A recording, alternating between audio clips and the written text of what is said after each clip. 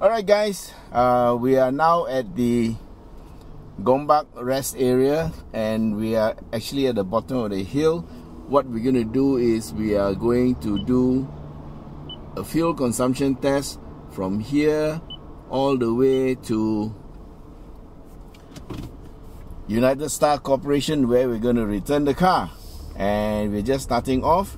I have put the car into eco mode and we're driving it like normal okay? A little bit light on the throttle but I'm just easy on the throttle yeah. And so you can see the latest uh, I've set the reading to show kilometers per liter. And because we started off on a heavy load it showed 2.9 kilometers per liter. Okay because when we started the car it needed some fuel. And then when we are taking off it also takes some fuel. But now it's starting to climb up yeah? Because we are now going at a higher speed and the engine RPM is low. So this is how 8 speeds can help you with uh, fuel consumption. And also because there are 8 speeds the TCU which is the transmission computer can uh, shift up much earlier because there's so many speeds because the next the next gear is very close. So it is what you call having close ratio gearbox. Okay we are going to go through the SmartTAG lane.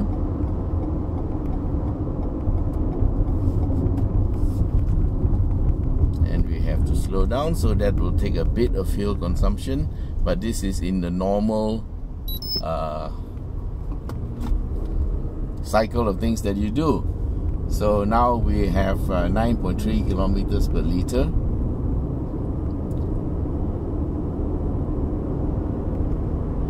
So it's going to be a journey back to Petaling Jaya through city traffic.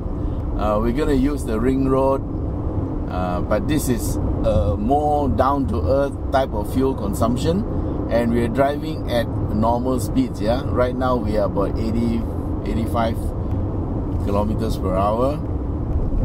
And I'm in D and I'm traveling at about 1400 RPM so with 8 speed gearbox your engine is actually just ticking over as you are uh, driving So in eco mode, the gearbox will try to get you into the highest gear possible. And uh, so we are probably running at a very high gear now, maybe 7, maybe 6, I don't know. Because uh, it doesn't tell you, it just automatically sets it for you. And we're going at 80, 90, 88 kilometers per hour, overtaking some cars here and we have to start keeping left after this answer. Because we are going to take the Duke Highway.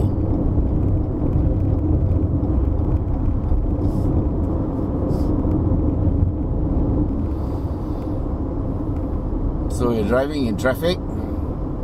And so far we have got oh 12.1 kilometers per liter that's about 8.4 liters per 100 kilometers. Something somewhere around there. My math isn't that good. Oh it's gone to 12.3 so guys this car is potentially very economical. Uh, why? Because it has two fuel injection systems. One is uh, port injection one is direct injection. So depending on which one gives it better uh, power or better efficiency, it will switch between the two. And uh, also, um, it has uh, 13.0 is to 1 uh, compression ratio. So, this is very high compression engine and they have technology to prevent the knocking. So, this is a very, very advanced engine, and in fact, uh, Toyota calls it dynamic force engine, and uh, it's not a turbo, but uh, it gives you decent power.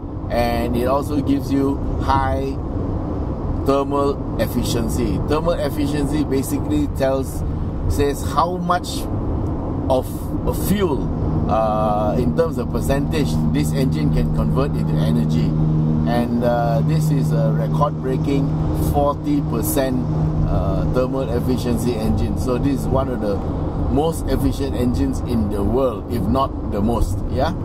So much uh, praise should be given to Toyota for developing this engine. And uh, for those of you who know engines this is the engine that they couldn't get to put into the Camry. Uh, because they just couldn't make enough of them. So our Camry at the moment uh, in Malaysia has a slightly lower spec engine, uh, less horsepower, yeah, and of course it doesn't have the same type of thermal efficiency. But uh, I'm sure in time to come, the Camry lovers will be able to get this same engine into the Camrys, yeah. So uh, they, there is a 2.0 uh, liter version, but this is the 2.5 liter, yeah. And uh, you might want to guess, yes, this is the same engine, or maybe a variety of it that is found in the Lexus ES. Yep. So now, being a CBU, this machine sells for 215,000 ringgit. And, uh, well, it's quite a mouthful or quite an amount to bear uh, for a lot of people. But uh, if you look at it from a take a step back, yeah, you look at it, you find that the well, a Mercedes A200, which is also a CBU uh, with a 1.4 liter engine and just a torsion beam at the back, yeah. Uh, very simple machine costs 219,000 on and but that's what's that's what we see on the price list lah. Okay, there's 219,000 versus this much bigger uh, machine that can seat more and it's got a lot of features, yeah the full complement of Toyota Safety Sense, which has your pre-collision system, your lane departure alert, also the lane tracing assist that actually can help you to stay in the middle of the lane. And of course it also has your AEB which is the uh, autonomous braking yeah? So and and on top of that it also has auto dimming uh, which I have not tested but and but it's there. And of course it's got all the other stuff hill assist control uh, hill start assist control uh, your abs your ebd name it you know it's all there. Plus also it has blind spot monitoring. So in terms of features this car has a lot going for it uh, including of course a very very advanced 8 speed gearbox yeah? Uh, no rubber bands for this one and uh, so it's a very very good package. But anyway what's the fuel consumption? Guys a 2.5 liter naturally aspirated vehicle with 207 ps of power is giving you in this type of traffic that we're traveling you can see we are getting 15 kilometers per liter. Wow. isn't that wonderful and I can tell you, most of you will be driving at this speed. We are going at 80 in the 90 zone. And we are following the traffic. And it says 15.1. How's that? Okay, let's see what we can get when we get back to PJ in this traffic. It now is 15.3. So stay with us.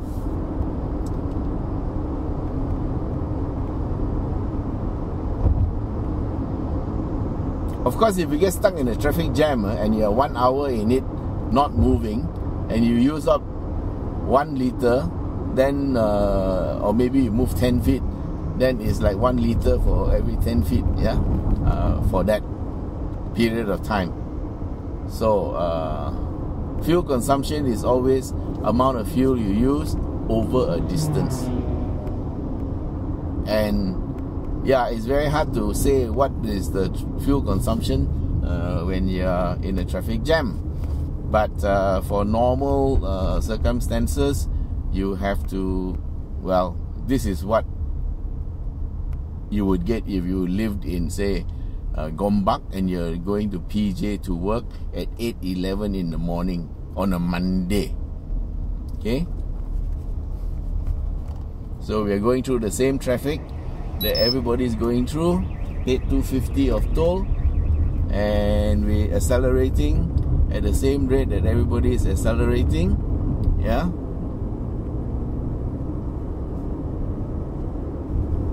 This is very very normal driving. Sorry. Okay. Pick your lane. So we've picked the middle lane and the consumption dropped a bit to 15 okay so guys this is just a, a very short stint. Uh, your overall consumption over a longer period of time may vary yeah? Because it depends on how long you stop to tapao your fried kway teow for your girlfriend or your wife things like that you know and how long you stop the your raffle while enjoying the aircon and waiting to pick up your kids from school yeah? Or you are having a chit chat with your girlfriend and you want to spend a bit more time with her before sending her back sending her back to work. So if you spend a lot of time idling with your aircon on then of course your average fuel consumption will be affected. But now we are driving at 70 in uh, city traffic and we're heading towards PJ so guys keep an eye on the traffic and you will see what type of traffic conditions we are facing, then you will know how true this fuel consumption is and what is the true potential. Let me tell you, uh, I did a bit of testing just now before we started this test, and I had numbers like 21, 22. Yeah, so this car has that potential, but I'm not going to tell you how much it is. You can see it for yourself. All this talking makes me thirsty. Okay, guys, we are taking the turn off to Petaling Jaya.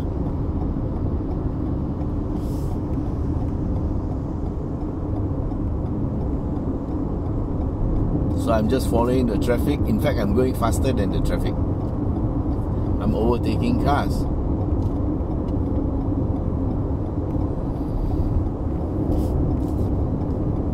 accelerate a bit get in front of this Fortuner and then I can get into the line. Yes.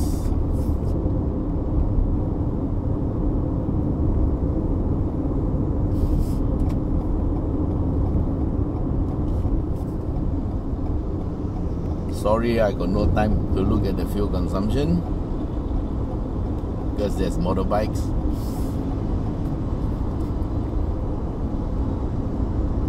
so we're just following the flow. It drops to 14.9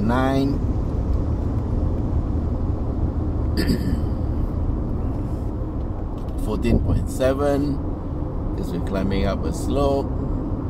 Now this is the average fuel consumption uh, from Gombak to here yeah? Okay the time is 8.17 we started from the Gombak rest area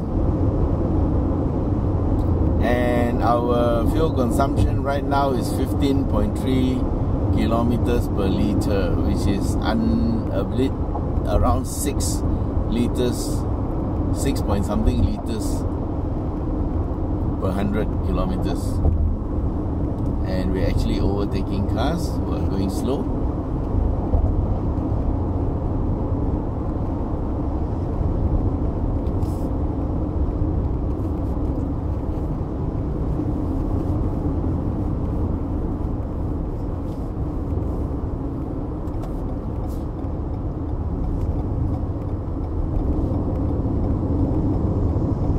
going at 80 kilometers per hour right now.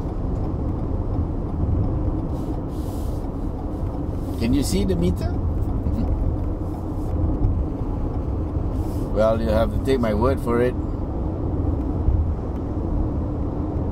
Oh, we're 90. okay, brake a bit. The speed just went up by itself.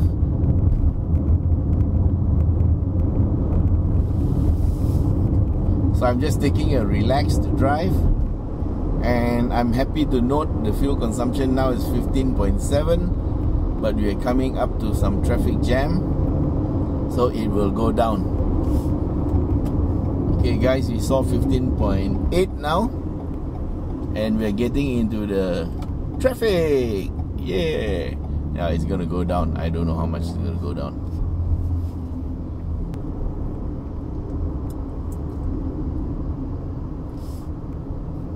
sorry if you see me yawn it's because I'm not used to driving slow. And I woke up at 5.30 in the morning. Just so that we can do this video for you guys just check the camera. Yes it's still recording. Thank you. 15.8 it dropped a little bit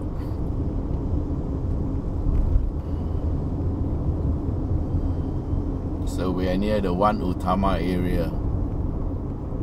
There are some complaints about this head unit, but well, it looks alright to me. Lah. To me, there's more things to a car rather than the head unit or how it looks. Yeah, As long as it looks decent, it's fine.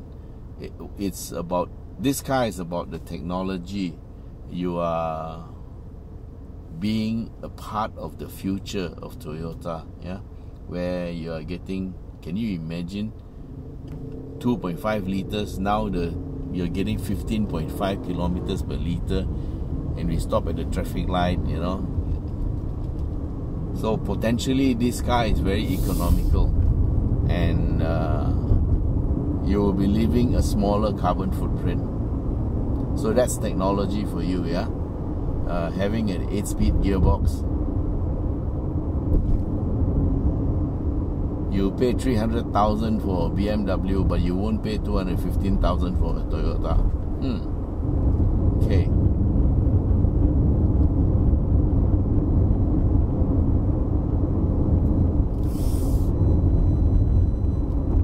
Well, if you're looking for an SUV, uh, and you want the technology that goes with it, and you want the safety features to go with it, I think this is one of the best packages you can have.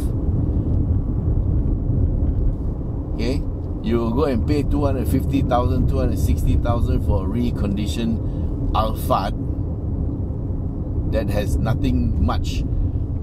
Okay? But you won't pay 215,000 for a car that has got the full Toyota safety sense here, plus a 8 speed gearbox, plus a dynamic force engine that has power and economy and 40% thermal efficiency.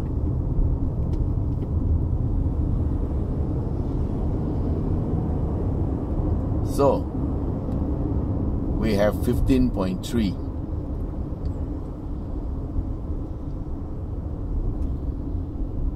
and we're going to be stuck at another two traffic lights or so before we get back. So let's see what we get when we get back yeah here we go. All right, guys. We're back at uh, United Star Corporation. Thank you very much. Uh, final fuel consumption is 13.7, 13.6 kilometers per liter. Thanks for being with us. And until we meet again, guys. Bye bye.